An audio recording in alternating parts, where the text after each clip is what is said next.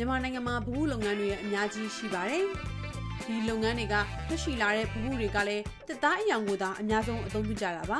။ဒီလိုတမယိုးကြလုံနေတဲ့တက်သားအယောင်တွေကိုခွဲတက်ပြီးအမြင်တစ်မျိုးစမ်းစီမဲ့ဗဟုရုပ်တွေကိုစေးရောင်တင်ဖို့စကူရရှိခဲ့သူကတော့ကျမမတူတူလွင်မှာ business ပြီးကြိုးကြိုးစားစားစီးပွားရေးလုပ်ငန်းရှင်များအစီအစဉ်မှကြိုဆိုပါရရှင်။သူမကပပူရုပ်တွေအပြင် ပကြီးကားချက်ပုံစံထွေးထူထားတဲ့တထွင်းပကြီးတွေကိုအမြင့်စမ်းစီမဲ့ဆေးရောင်တွေခြေသားပြီးထုတ်လုပ်နေသူတူပါတတွင်းပကြီးမှာအခက်ခဲကဘာရှိလဲဆိုတော့အစတွေကသူတို့ကခုနပြောသလိုအမားတို့မမွေးခင်ကလေးကဒါရှိပြီးသားရှိပြီးသားဘလို့ထိုးပေါက်ရမလဲပဲလူတွေကမလုံးဝသေးရလို့အမကတော့မြင်တာပဲအဲ့တော့အမအနေနဲ့ကျတော့အမစားရောက်တယ်ဒါကိုလုံးကြည့်တယ်ဆေးတွေတင်ကြည့်တယ်ဒီဆေးတွေနဲ့အမကနိုင်ငံတကာထိုးဖောက်ကြည့်တယ် သူမအတွက်ဒီလိုမျိုးစိတ်ကူးတွေရရှိလာခဲ့ခြင်းက MBA ပြီးလို့တငယ်ချင်းတွေနဲ့ပြည်ပနိုင်ငံကိုအပျော်ခီးထွက်ရင်းတွေ့မြင်ရကနေအစပြုလို့ဖြစ်လာတယ်လို့ဆိုပါတယ်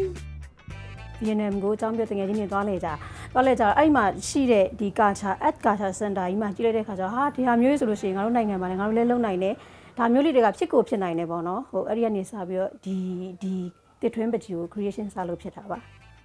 ဘုပညာကိုမျိုးရိုးလည်းမရှိအထီးတွေလည်းမရှိတဲ့သူမအတွက်တော့အရာအလုံးကအစကလေးစပြီးလေ့လာရရတာပါပဲ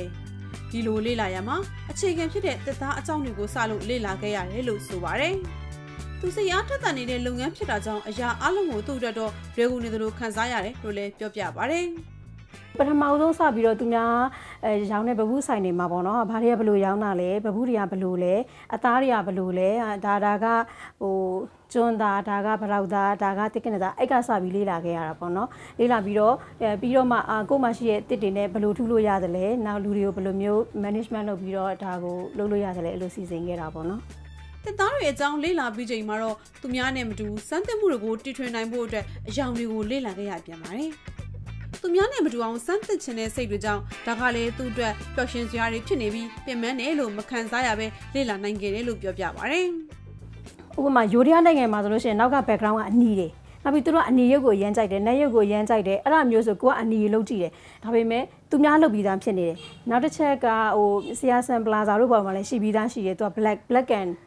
go နှစ်မျိုးပဲ။အဲ့ဒါဆိုလည်းလုပ်ပြီးသားရှိတယ်။အမကိုယ်တိုင်ရလည်း black and go လုပ်ကြည့်တယ် တိတ်မကြိုက်ဘူးတိတ်မကြိုက်တဲ့ခါကျတော့ဒီလိုမျိုးခြေကြီးတဲ့အရာမှာကျတော့ဟိုအရန် creative ဖြစ်တယ်လို့မြင်တဲ့နောက်ရုပ်လုံးတွေကအရန်ကြွလာတယ်ဆိုတော့ဒီဒီဟာနဲ့ပဲအမထိုးပေါက်လိုက်တာပေါ့အစောမြန်မာသူခုမှ brand ကဒါဖြစ်သွားတဲ့သဘောဒေါက်တာတော်လင်အနေနဲ့အများနဲ့မတူအောင်ထိုးပေါက်ရင်းနောက်ထပ်ခြေလမ်းသစ်တစ်ခုကိုလည်းစတင်စေခဲ့ပါတယ်ဒါကတော့ရွှေကြီးထိုးလုပ်ငန်းပါ ဟိုဟို new design လေးတွေပေါ်ရင်းရတယ်ပေါ့နော် new design မှာဥပမာအာ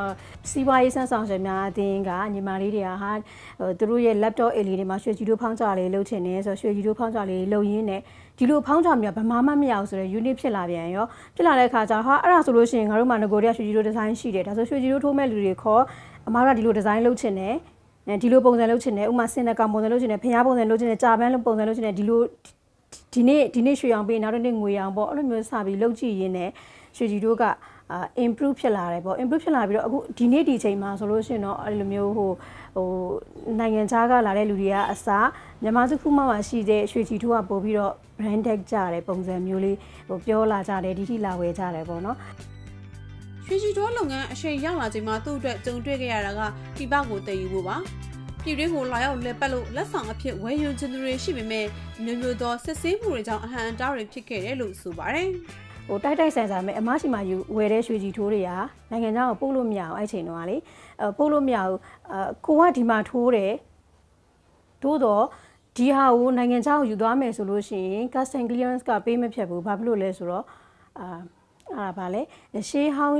ရှေးဟောင်းသူတေသနာဝန်ကြီးဌာနမှာအမရဖောင်းချသွားယူရတယ်ဟာ အဲ့ဒါကရှေးဟောင်းပစ္စည်းတွေပါဆိုတော့ဖောင်ချာသွားယူအဲ့ဒီရဈေးနဲ့အဲ့လိုမျိုးအဲ့ဒီကဖောင်ချာထဲမှာပို့လို့ရတယ်အဲ့ဒီအခက်အခဲတွေအဲ့ဒီအချိန်ပေါ့နော်လွန်ခဲ့သော2017ဆိုတော့အဲ့ဒီအချိန်မှာရိုးရိုးရိုးနဲ့အရန်ဖြစ်နေကြတဲ့အချိန်ပေါ့နော်အဲ့တော့ကျွန်မကဒါအဆင်ပြေဘူးလို့အမပြောလိုက်တယ်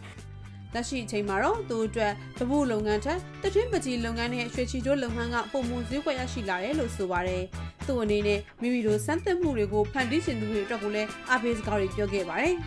။လုံးဝမကြောက်ပါနဲ့ချက်ချင်းလုပ်ပါ။ လှုပ်ချင်တာချင်းချက်ချင်းလှုပ်လိုက်အဲ့ဒါအဲ့ဒါဟိုအောင်မြင်မှုရဲ့အစားပဲမြန်မာလက်မှုအမှုပညာကိုဒီလိုကျမတစ်ဆိုင်နဲ့နှစ်ဆိုင်နဲ့သုံးဆိုင်နဲ့လေးဆိုင်နဲ့အဲ့လိုမျိုးမဟုတ်ဘဲနဲ့လေအာသူများနိုင်ငံနေလိုမျိုးပေါ့တော့စန်တာကြီးကြီးကြီးအကြီးကြီးမှာတကယ်မြန်မာဂုံဆောင်ပစ္စည်းရည်ကြီးပဲဘယ်နိုင်ငံသားသားမှမဝင်မဝယ်မရှိအဲ့လိုမျိုးအဲ့လိုမျိုးစန်တာကြီးကျမလုပ်ချင်တယ်ပေါ့နော်အဲ့ဒါတော့အိမ်မက်ကြီးပေါ့လေ သူမလောက်ကန်ရတာပျော်ရွှင်နေပြီဖြစ်တဲ့ဒီလုပ်ငန်းကိုကိုပိုင်တူရဲ့ဆိုင်ဖွင့်လှစ်ရောင်းချနေရတာထက်နိုင်ငံတကာမှာလို့မြမအမှုပညာလက်ရာတွေကိုပြသနိုင်မဲ့နေရာတစ်ခုပေါ်ထွက်လာပြီးပြသရောင်းချခြင်းတယ်လို့လည်းသူမရဲ့ရည်မှန်းချက်ကိုပြောပြခဲ့ပါတယ်။